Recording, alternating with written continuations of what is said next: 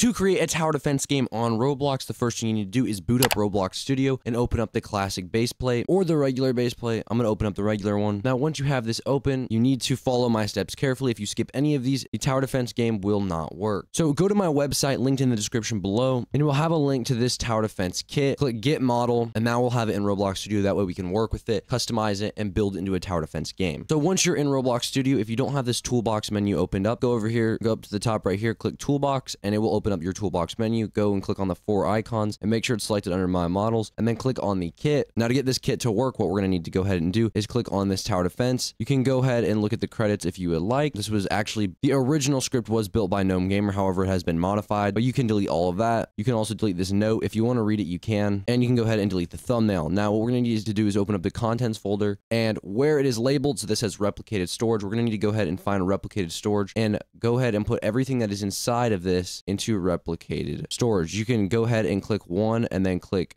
control shift and click on that and it will select all of them and then go ahead and drag them down to replicated storage. And go ahead and do this for everyone put it where it's supposed to be. When you get to the starter player scripts make sure you drag it down to the correct folder. There's one that's labeled starter player and then drag it under starter player it is starter player scripts. Now we're not done quite yet. There's some other stuff we have to change or this will not work. So go up to game settings publish it really quickly. That way we can go into the settings of the game. I'm just going to call this tower defense game. Got a typo there but it's okay. Just to go ahead and save it. All right now we have the game loaded in then we're going to go into security and then we're going to click on https requests allow third-party teleports and enable api services enable all three of these right here click on save so now our game should run. However, we are not done yet. If you miss the next couple steps, you will not know how to customize this. But let's just say we vote for one of these maps. We can go ahead and wait for the map voting to count down. All right, so now we're in and we can put down different mobs that will fight and there's upgrades for them and tons of different stuff like that. But as you can see, we have way too much money and our base has a lot of health and a ton of stuff like that. So to customize a couple a bit of this, what we're going to do is we're going to go to server script service, click on player added, and then right here where it says gold, we're going to change this to like 500. That way it's more balanced. If you want to add towers to the game, all you need to do is go under replicated storage, go under towers. Then you can go ahead and duplicate this put under the towers folder, rename it to something. So in my case, I'm just going to rename this to tower 2 and then to make it cost different amounts you're going to scroll down to the config go under config and then